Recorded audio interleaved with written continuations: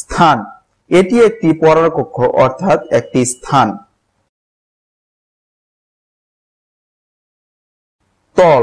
বইটি ত্রিমাত্রিক তল বিশিষ্ট, কারণ এর দৈর্ঘ্য, প্রস্থ ও উচ্চতা রয়েছে।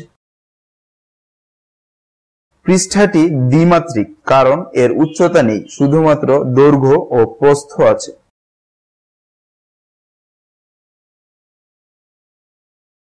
রেখা। এই লাইনই একটি রেখা। বিন্দু, এটি একটি বিন্দু, কারণ এর দৈর্ঘ্য, প্রস্থ ও উচ্চতা নেই, শুধুমাত্র অবস্থান আছে।